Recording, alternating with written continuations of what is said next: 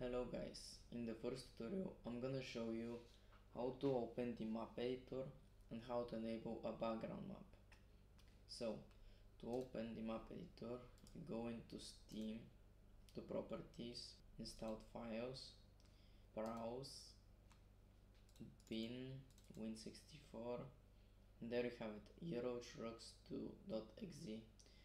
Now I have a shortcut already here, I'm gonna make a new one create a shortcut and you need to paste these properties. So since I already have them I'm just gonna put them in the description but I'm gonna copy them from here from my main map editor shortcut.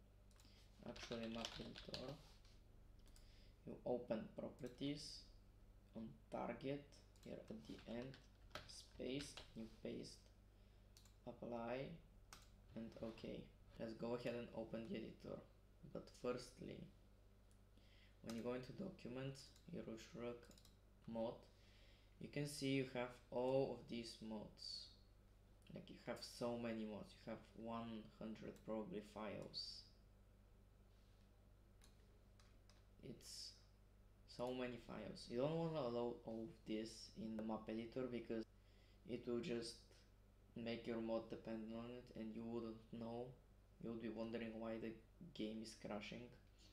So what you want to do instead of taking them out of the mod folder you rename it to one mod. And then you have uh, I, I already have these other five folders. So you um, just make a new one go to mod. And you rename it 2 mod or in my case it's 7 mod because I already have other uh, when you want to switch between map editor and playing the game. For now the tutorial is about map editor so we're gonna show you how to open it. Now you have everything done except for the background map. So we already chose um, 22 and 277 so oops we go to versions. We search for 22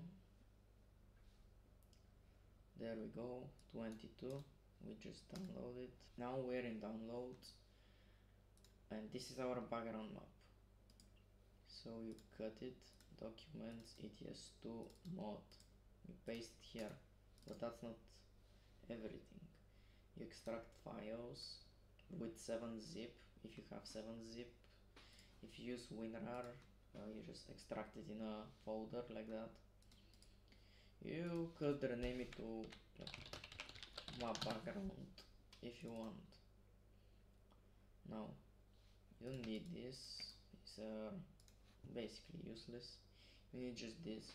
Now you open uh, dev editor data control F you search for 277 because that's what we want. Okay we don't really want this. Uh, L5 ID 277 dot there we go. So now you copy this like this and you paste it here. You need to remove these hashtags now uh, we are supposedly making a map in Africa. So you name it to your MBD uh, I'm gonna call mine Africa. Just save. Now you see this is in mod now we just open the map editor it might take a while until it loads fully. Okay now we are in the map editor. Now that we are loaded in uh, you are not on any module. You are on a empty world basically. So what you want to do is you want to create a simple road uh, I'm using an in this road because I guess that is my default road. And then you just save. Save it as Africa. Like how we typed it uh, right here. Africa. And the same. Africa. So we save. Now you need then after to restart the map editor. I already restarted it.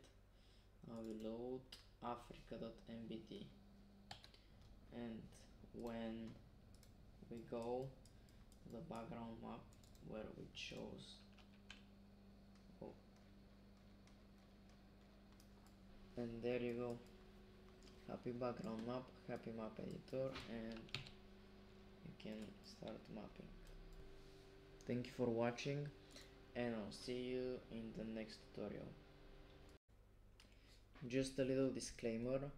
For more help uh, you can ask me in the comments of the youtube video but if you want urgent help need to join my discord server where i can help you almost immediately or not me but many other people who are active there